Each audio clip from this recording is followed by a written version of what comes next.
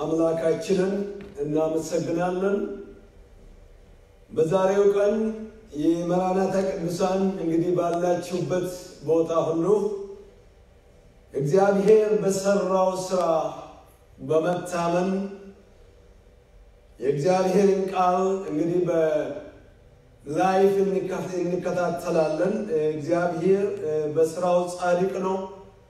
ጌታን ሙሉ በሙሉ እናምናለን። በዚህ ነገር ውስጥ እግዚአብሔር በክብር እንደሚያሳልፈን የእግዚአብሔር ቃል የማነብበት ክፍል የሮሜ መጽሐፍ ምዕራፍ ስምንት ከቁጥር 18 ጀምሮ ያለውን ክፍል በዛሬው ቀን አብረን እንካፈላለን።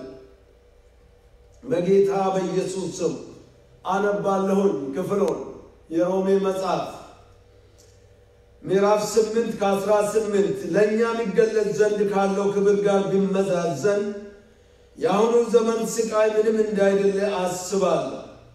የፍጥረት ናፍቆት የእግዚአብሔር ልጆች መገለጥ ይጠባበቃልና ፍጥረት ለከንቱነት ተገዝተዋልና በተስፋ ስላስገዛ ነው እንጂ በፈቃዱ አይደለም።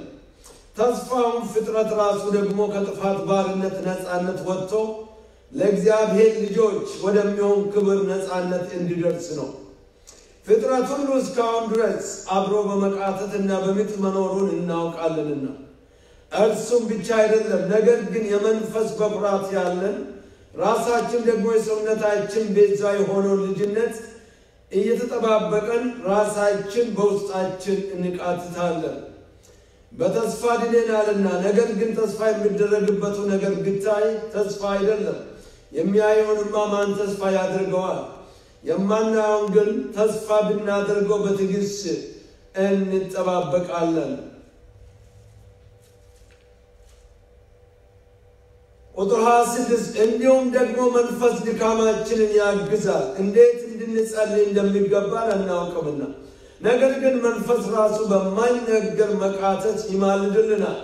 ልብንም የሚመረምረው የመንፈስ ሐሳብ ምን እንደሆነ ያውቃል፣ እንደ እግዚአብሔር ፈቃድ ስለ ቅዱሳን ይማልዳልና። አጭር ጸሎት እንጸልያለን። እግዚአብሔር የሰራዊት ጌታ የዘላለም አባት የዘላለም ንጉሥ በጌታችን በመድኃኒታችን በኢየሱስ ክርስቶስ ስም እግዚአብሔር የዘላለም አምላክ ሆይ እናመሰግናለን። ጻድቅ እግዚአብሔር አምላኮ በዛሬው ቀን እንግዲህ ጌታ አባቶ በሰጠን ጊዜ በአየር ላይ ይህ መልእክት ሲተላለፍ ሕዝብ ባለበት እንድጽናና ድምፂ ወደ ሕዝብ ልብ እንዲገባ እግዚአብሔር ሆይ ሁኔታ የማይወስን በሁኔታ የማትወሰን ጌታ ቅዱስ እግዚአብሔር ሆይ በመንፈስ ቅዱስ እርዳታ በመንፈስ ቅዱስ ኃይል የቃሊ እውቀት የቃሊ እውነት ወደ ሕዝብ ልብ እንዲገባ እንዲያቆመን ወደፊትም ደግሞ አንድ እርምጃ እንዲያራምደን እንጸልያለን። በሌላ ቦታም በአየር ላይ መልእክት የሚሰሙ ሁሉ ቅዱስ እግዚአብሔር በዓለም ዙሪያ እየሆነ ባለው ነገር የማንም ልብ ሳይወድቅ በኢየሱስ ክርስቶስ ስም ቃል በሰው ልብ ውስጥ እንዲገባ እንጸልያለን። ይህንን ጊዜ ለአንተ ሰጥተናል። በጌታችን በመድኃኒታችን በኢየሱስ ክርስቶስ ዘላለማዊ ስም አሜን። በዚህ በምንመለከትበት ክፍል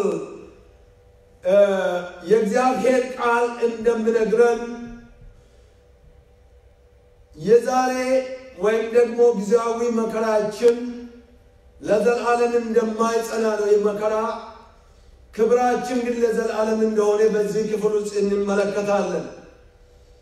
ክርስትና የምድር ምቾት አይ ጉዳይ አይደለም። እውነቱን ከተመለከተን ጌታችን ኢየሱስ ክርስቶስ ያሰማነው ትምህርትና ሐዋርያትም ያሰማኑትን ትምህርት ሁሉ ስና አንድም ቀን በምድር ላይ ባለው ምቾትና ድሎት እንድንኖር የሚያስተምረን ነገር የለም። ከአዳም ውድቀት የተነሳ ይህቺ ዓለም በእርግማን ስር መሆኗን ቃሉ ያረጋግጥልናል። ከውድቀት የተነሳ መከራና ስደት፣ ሞት፣ የተለያዩ ፈተናዎች በዚች ምድር ላይ ሲከሰቱ እናያለን። በተለይ አሁን ያለንበት ጊዜም ለዚህ መከራ ምስክር ነው። በተነበበው ክፍል አሁን የአሁኑ ዘመን ስቃይና የሚመጣው ክብር አድርጎ ሁለቱን እያያዘ ደግሞ ኮምፔር እያደረገ ሐዋርያ ጳውሎስ ያቀርብልናል። አማኞችን ያሳስበናል። ሐዋርያው አሁን ካለው ስቃይ የተነሳ በመቃተት ላይ ላሉ በመቃተት ላይ ያሉ ሶስት ናቸው ይለናል። ምክንያቱም በዚህ ምድር ላይ እየተደረገ ያለው በዚህ ምድር ላይ እየሆነ ያለው ስላለው ፈተናና ስቃይ መከራ ሶስት የሚቃትቱ አሉ ይለናል። የመጀመሪያ ቁጥር 18 እስከ ሁለት ላይ እንደምንመለከት ፍጥረት እየቃተተ ነው ይለናል። ቁጥር 18 እንግዲህ እንደምናገረው በዚህ ቦታ ላይ ፍጥረት በመቃተት ላይ ይገኛል። እግዚአብሔር የፍጥረትን ስራ በፈጸመ ጊዜ በዘፍጥረት አንድ ሰላሳ አንድ መሰረት እግዚአብሔር ያደረገውን ሁሉ አየ፣ እነሆም እጅግ መልካም ነበረ፣ ማታም ሆነ ጠዋትም ሆነ ስድስተኛው ቀን ይላል ዘፍጥረት አንድ ሰላሳ አንድ እንደምናገረው ይህ መልካም እግዚአብሔር ያለው ግን ከውድቀት በኋላ ዛሬ ፍጥረት እየቃተተ እንዳለ እንመለከታለን። መልካም ሆኖ የተፈጠረው እግዚአብሔር መልካም ነው ያለው ፍጥረት ራሱ በመቃተት ላይ እንደሚገኝ መጽሐፍ ቅዱሳችን ግልጽ ያድርግልናል። የእግዚአብሔር ቃል ደጋግመን በተመለከተ ቁጥር ቅድም ጳውሎስ ወደ ተናገረው ወደ ሮሜ ስምንት ቁጥር 18 እስከ ቁጥር 22 ላይ ስንመለከት በዚህ ክፍል ላይ የምናየው ነገር የፍጥረት መቃተት ወይም ደግሞ የፍጥረት በዚህ ምድር ላይ እየቃተተ ያለበት ዋና ምክንያት ጳውሎስ በዚህ ክፍል ውስጥ የሚነግረን ነገር አለ። ቁጥር ስምንት ላይ ስንመለከት ፍጥረት በዚህ ቦታ እንደምናገር ቁጥር ስምንት ቁጥር አስራ ስምንት ላይ እንደምንመለከት ለእኛ የሚገለጽ ዘንድ ካለው ክብር ጋር ቢመዛዘን የአሁኑ ዘመን ስቃይ ይላል። ስለዚህ ስቃይ አለ ይላል ጳውሎስ። የፍጥረት መቃተት ዋና ምክንያት የአሁኑ ዘመን ስቃይ ይለዋል። ቁጥር ሀያ ላይ ስንመለከት ፍጥረት ለከንቱነት ተገዝቷል። ቫኒሽ ወይም ደግሞ ባዶነት እየተሰማ ከንቱ ሆኖ ፍጥረት ራሱን ስላገኘ እየቃተተ ነው ይለናል። ቁጥር ሀያ አንድ ላይም ስንመለከት በዚህ ቦታ ላይ የእግዚአብሔር ቃል እንደሚነግረን ፍጥረት በጥፋት ባርነት ውስጥ አለ ይለናል።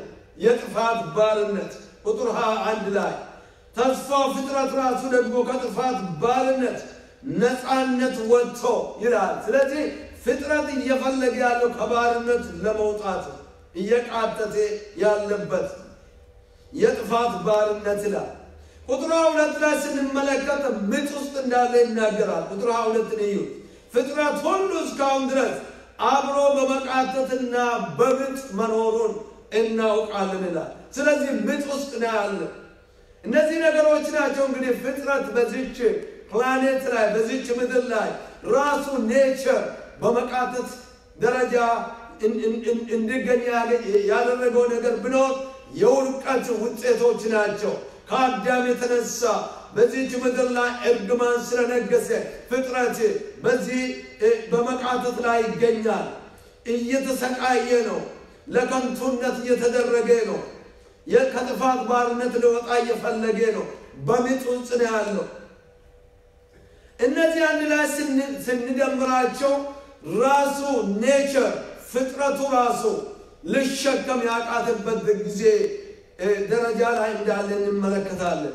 ይህ የፍጥረት መቃተት የሚያሳየን ነገር አለ። ቅዱሳን ወገኖቼ ባላችሁበት ቦታ ይህንን መልእክት የሚሰሙ ሴት ልጅ ለመውለድ ነው። ስለዚህ በዚህ ቦታ ላይ እንደምንመለከት ፍጥረት ነፃ ለመውጣት እየቃተተ ነው፣ እየፈለገ ነው። ያ ነፃ መውጣቱ ደግሞ ለእግዚአብሔር ልጆች የሆነው ክብር እንደተዘጋጀ እንመለከታለን። አንድ ክብር አለ። እርሱ የጌታችን የመድኃኒታችን የኢየሱስ ክርስቶስ ክብር መገለጥ ነው።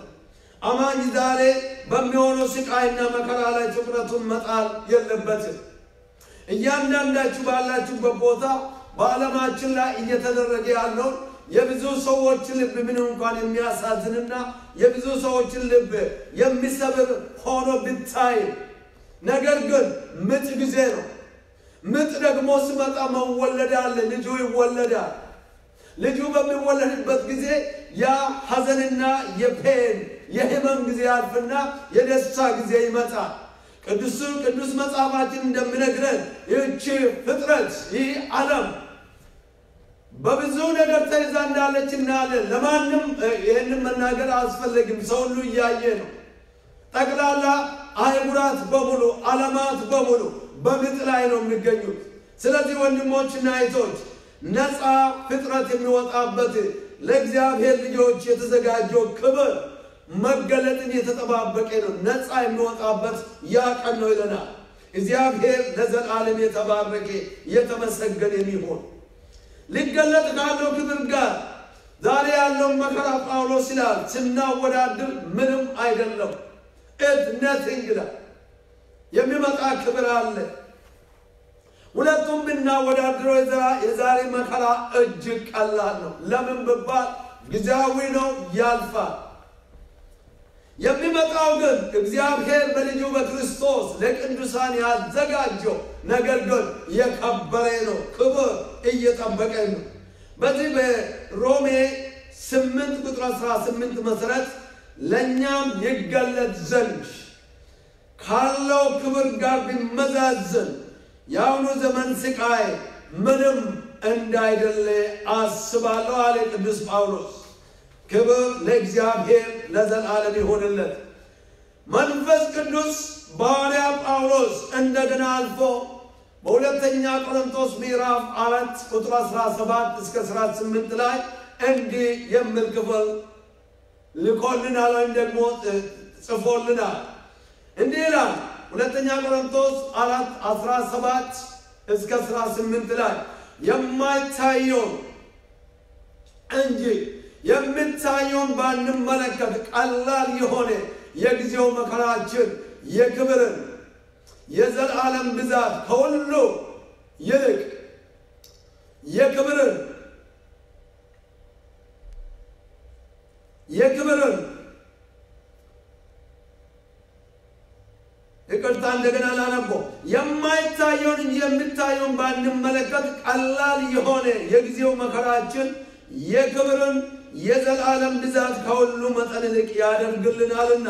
የምታየው የጊዜው ነው፣ የማይታየው ግን የዘላለም ነው ይለናል። እግዚአብሔር ለዘላለም ይባል። የዛሬ ፈተና፣ የዛሬ ስቃይ፣ የዛሬ መከራ፣ ዛሬ የሚሰሙ የተለያዩ ሁኔታዎች ቋሚ አይደሉም፣ ያልፋሉ። ነገ እየመጣ ላለው ክብር እያዘጋጀን ነው። እግዚአብሔር ለልጆቹ ያዘጋጀው ክብር አለ። የሚጠብቀን ክብር የዘላለም ክብር ነው። በዚህ ዓለም ያለው ፈተና ሁሉ አላፊ ነው። ሰውን እያስጨነቀ ያለው ሁሉ ይሄዳል፣ ያልፋል። ፍጥረት በመቃጠት ላይ ቢገኘው እግዚአብሔር ለልጆቹ ያዘጋጀው ታላቅ ክብር አለ።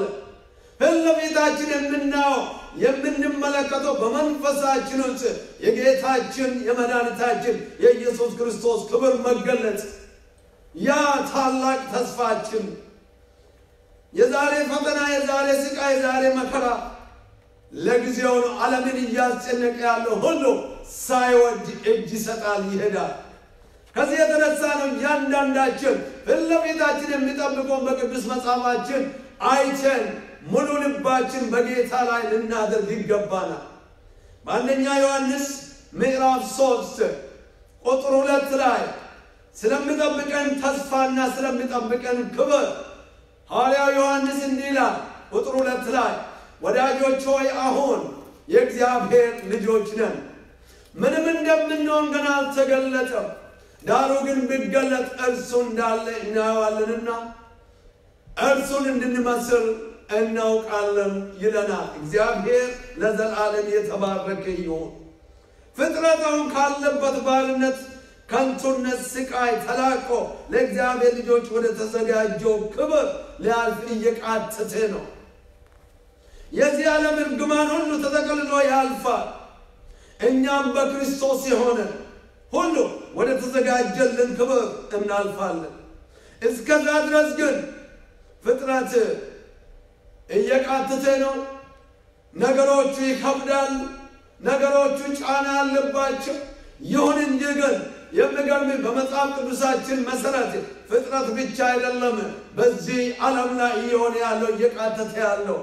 በሁለተኛ ደረጃ በዚሁ በሮሜ ምዕራፍ ስምንት መሰረት የምንመለከት ሁለተኛ የእግዚአብሔር ልጆች እየቃተተን ነው ያለ ነው።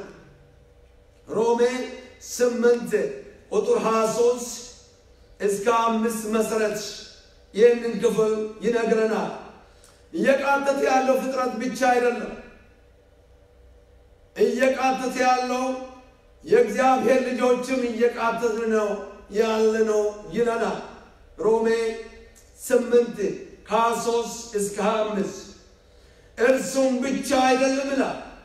ፍጥረት ብቻ አይደለም ማለቱን እርሱም ብቻ አይደለም። ነገር ግን የመንፈስ በኩራት ያለን ራሳችን ደግሞ የሰውነታችን ቤዛ የሆነውን ልጅነት እየጠበቀን እየተጠባበቀን ራሳችን በውስጣችን እንቃትታለን። በተስፋ ድነናልና፣ ነገር ግን ተስፋ የሚደረግበቱ ነገር ብታይ ተስፋ አይደለም።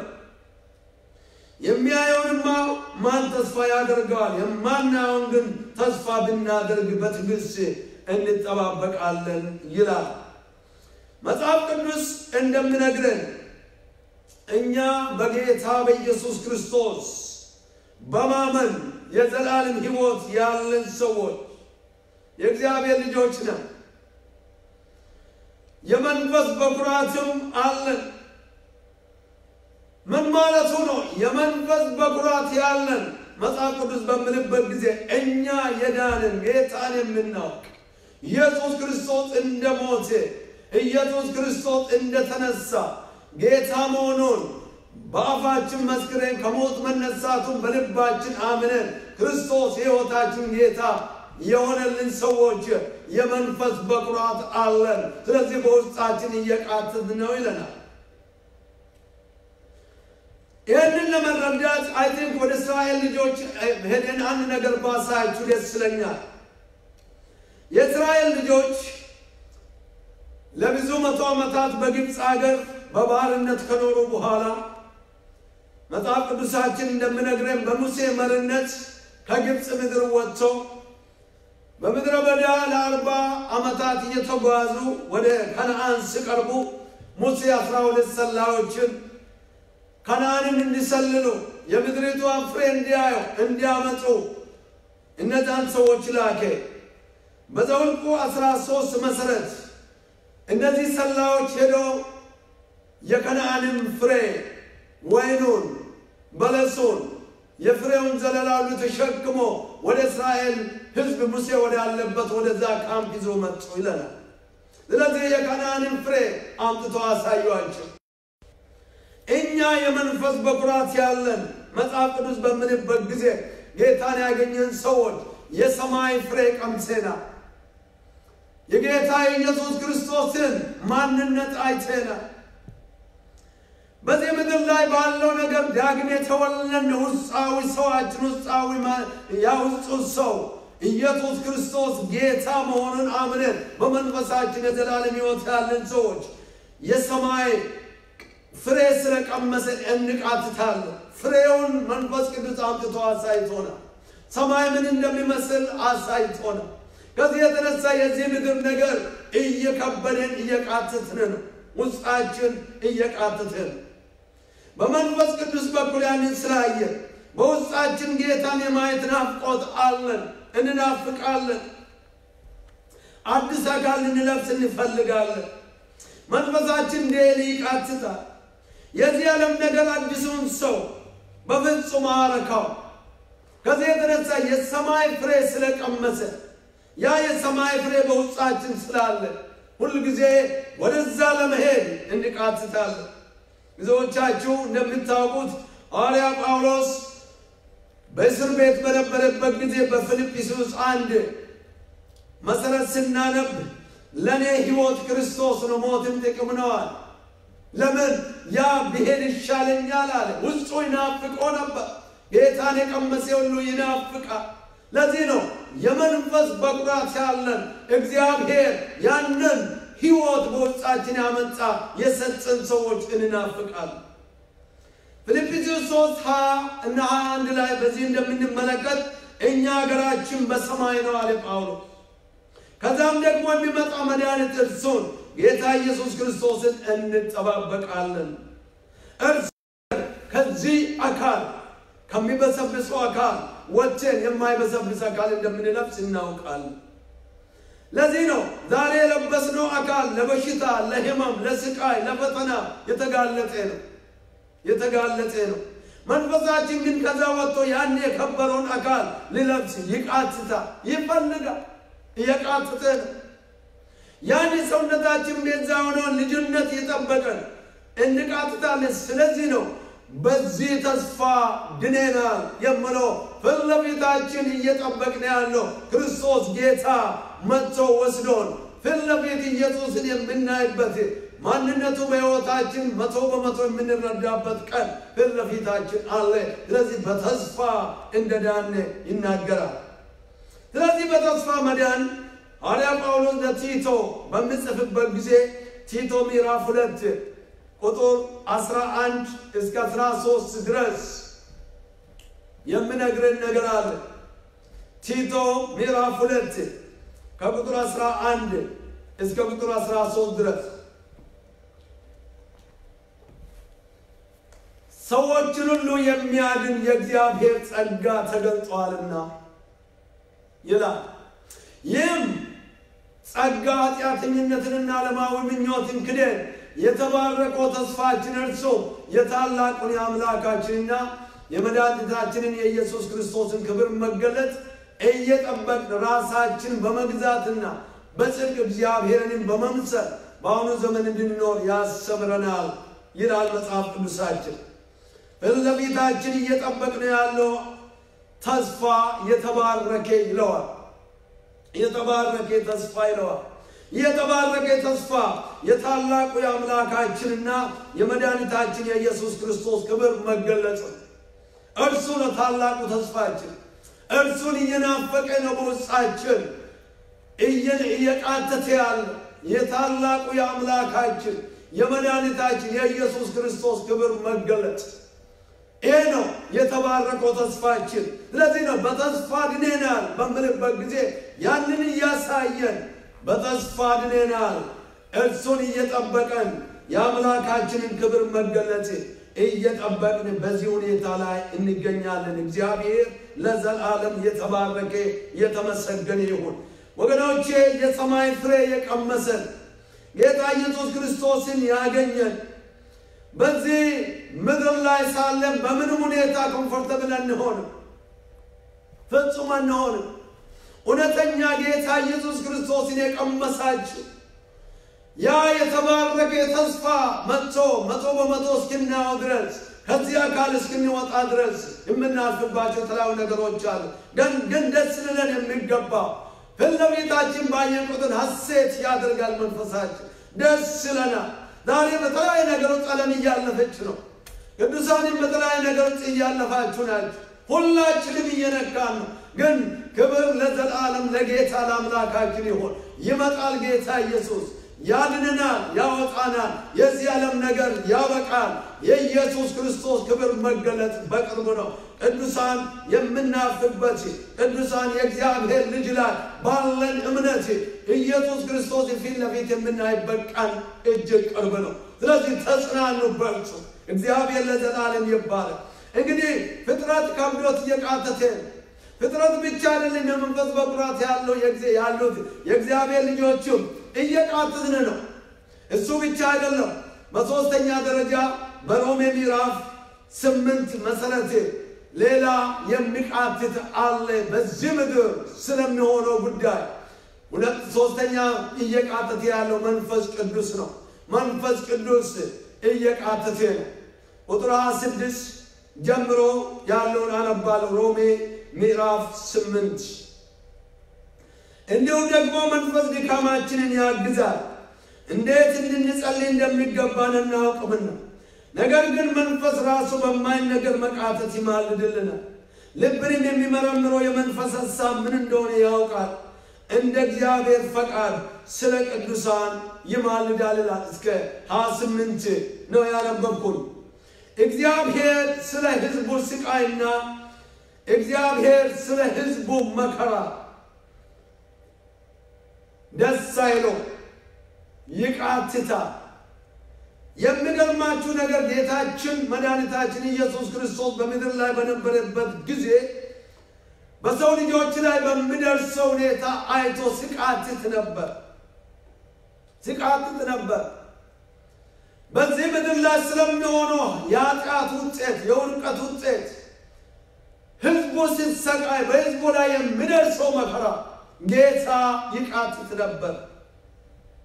መጽሐፍ ቅዱስ ሲናገር ማርቆስ 7 34 ላይ እንደምንመለከት ኢየሱስ ክርስቶስ በዚህ ማርቆስ 7 34 መሰረት ስንመለከት አንድ ሰውን እንዲፈውስ ደንቆሮና ኮልታፋ ይላል። አይሰማም፣ አይናገርንም። ንግግሩ ክሊር አይደለም። ሊፈውሶ አመጡት ወደ ጌታ። ጌታም ይህንን ሰው አየና ይላል መጽሐፍ ቅዱሳችን ሲናገር ወደ ሰማይ አሻቅቦ አይቶ ቃተትና እፍታ አለው።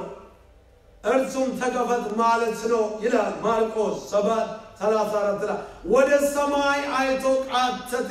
የዚህ ሰው መከራ፣ የዚህ ሰው ስቃይ፣ የዚህ ሰው እያለፈበት ያለው ኃጢአት ያመጣበት የዚህ ምድር ሁኔታ ኢየሱስ ክርስቶስን አቃተቶ እንዲቃትት አደረገ። እንደዚህ ይናገር መጽሐፍ ቅዱሳችን እንደገና ስናገር ጌታችን ኢየሱስ ክርስቶስ ማርያምንና ማርታን ለማጽናናት አልዓዛር በሞተ ጊዜ ወደ ቤታቸው ሲሄድ እንደምንመለከት ማርታ ወደ መቃብር ሄደች። ጌታችን ኢየሱስ ክርስቶስ ወደ እነዚህ ቤታቸው እየመጣ እያለ ማርያም ግን ሮጣ መንገድ ላይ ክርስቶስን ተቀበለችውና እግሩ ላይ ወድቃ ሰገደችለት። ወንድሜ ባልሞተ ነበር፣ አንተ እዚህ ብትኖር አለች። ከዛ በኋላ ኢየሱስ ክርስቶስ እንዲህ አለ። በተለይ ያንን ክፍል ለማየት ስለፈለግኩ ነው።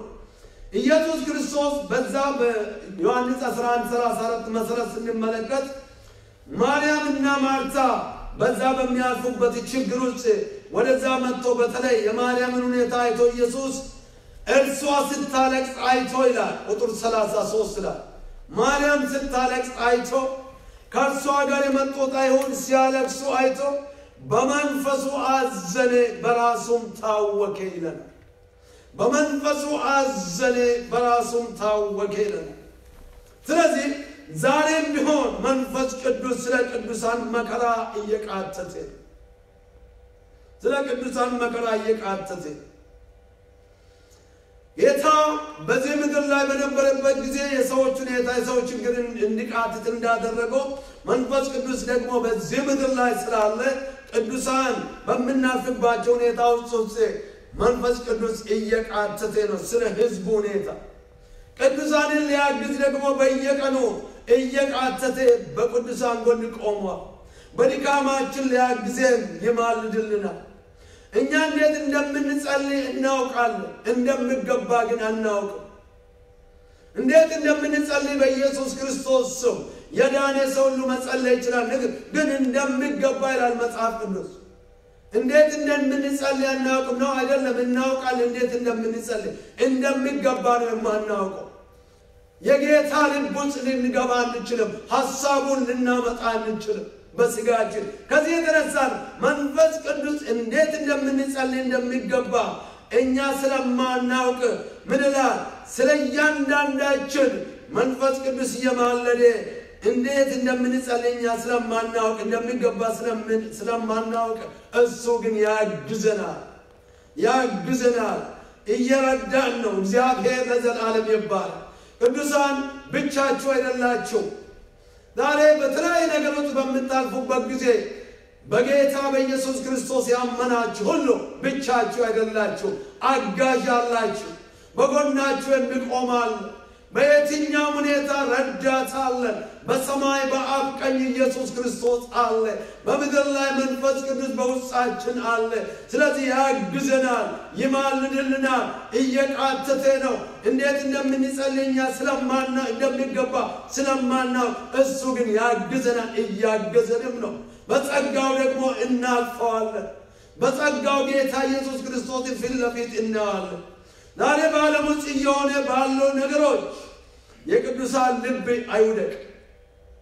ለምን ብቻችን አይደለንም። እግዚአብሔር ለዘላለም ይባል።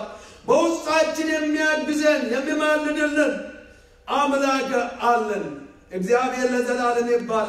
በዓለም ስለሚሆነው መከራ አትፍሩ። ለምንድን ነው?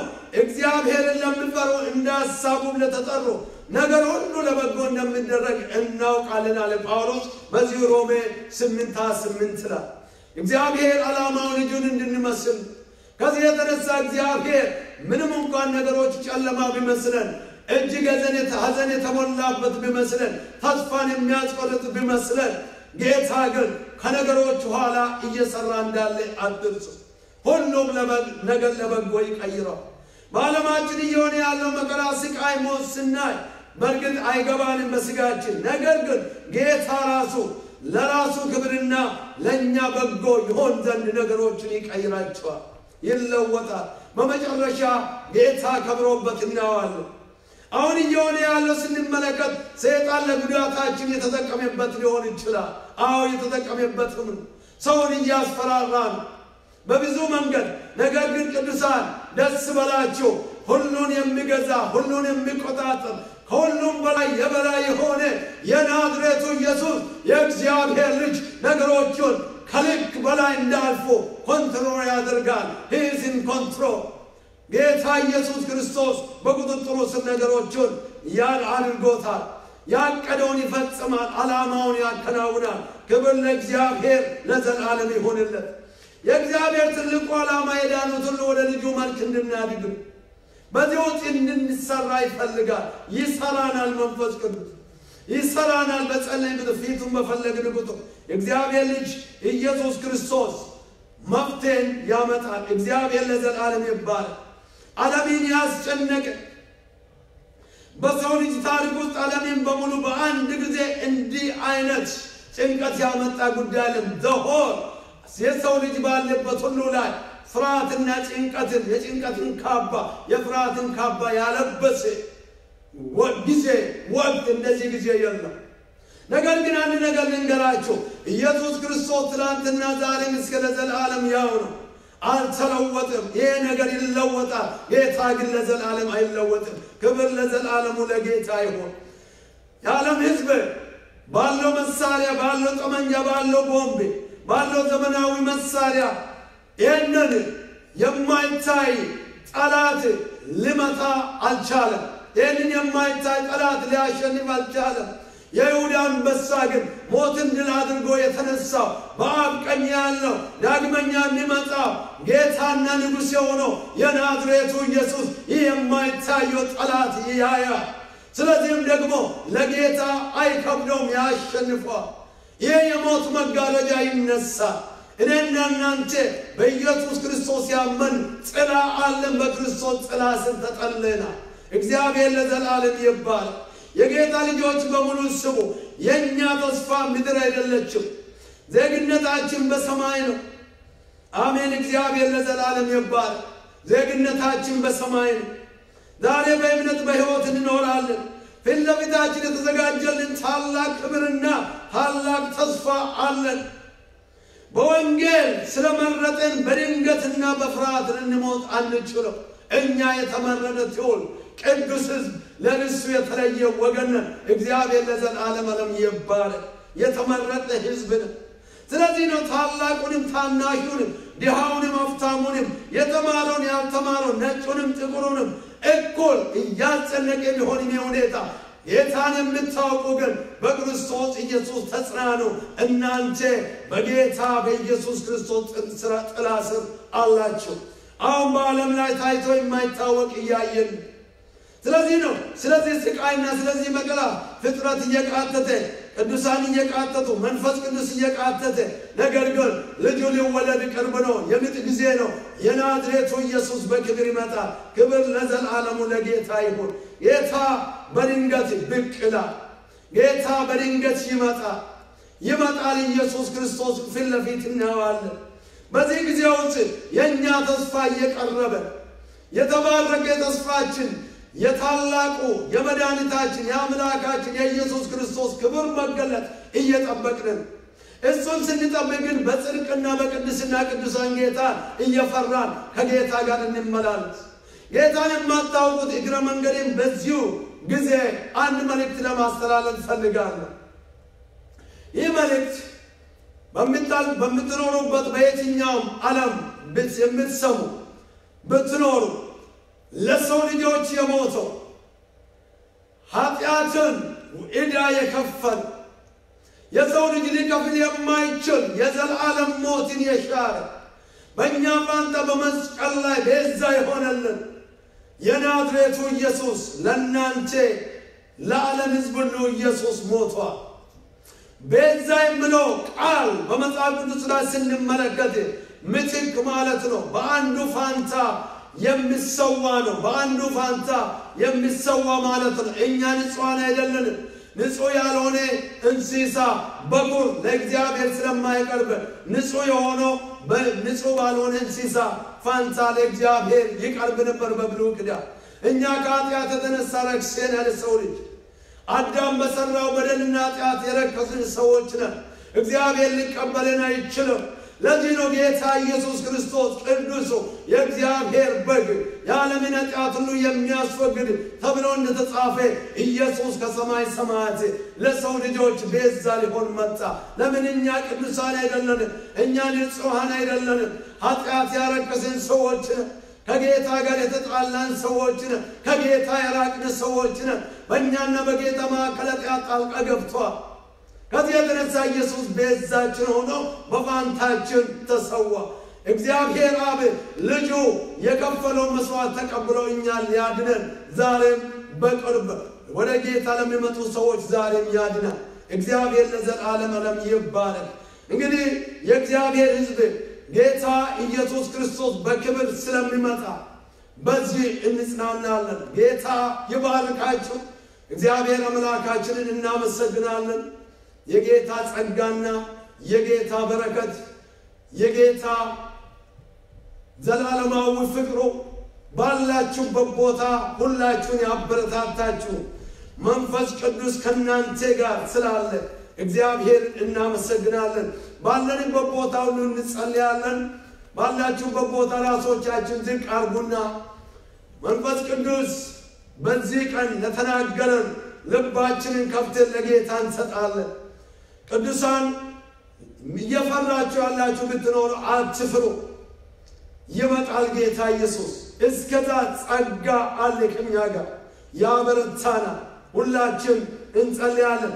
ጌታን ልትቀበሉ ደግሞ በዚህ አጋጣሚ ላሳስባችሁ የሚፈልገው ባላችሁበት ቦታ ሆናችሁ ጌታ ኢየሱስ ሆይ ኃጢአትን ይቅር በለኝ፣ ተቀበለኝ ስሜ በሕይወቴ ላይ የበላይ እንዲሆን ራሴን ለአንተ ሰጥቻለሁ።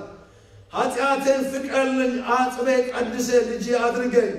አንተ ጌታዬን በአፌ መሰክራለሁ፣ ከሞት መነሳትን በልቤ አምናለሁ ብላችሁ ለኢየሱስ ክርስቶስ ሕይወታችሁን ስጡ። እግዚአብሔር በነገር ሁሉ ይባርካችሁ። እግዚአብሔር የተመሰገነ ይሁን። ሕያው እግዚአብሔር ሆይ ተመስገን። ስለ ሰጠን ጊዜ ስሜ ብሩክ ይሁን። ጌታ ሆይ ይህ ነገር ስለሚያልፍ እናመሰግናለን። በዓለም እያንዣበበ ያለው ስቃይ፣ መከራ፣ ሞት ስለምሻል ጌታ እግዚአብሔር አምላክ ሆይ እንዲበቃ እንዲያበቃ እንዲቆም እጅ እንድነሳ በናዝሬቱ በኢየሱስ ስም ትእዛዝ ከአንተ ዘንድ እንዲወጣ የሰራዊት አባት እግዚአብሔር ይህ መንፈስ እንዲቆም አዘዘ። ጌታ ሆይ ቀኑን ባርክ፣ ሕዝብን ባርክ። ባለንበት ሁሉ በመንፈስ ቅዱስ ሕዝብን አጽናና፣ አበረታታ። ስሜ ይባረክ። ስለሰማን ሁሌም ስለሚሰማን ተመስገን። በጌታ በኢየሱስ ክርስቶስ ዘላለማዊ ስም አሜን።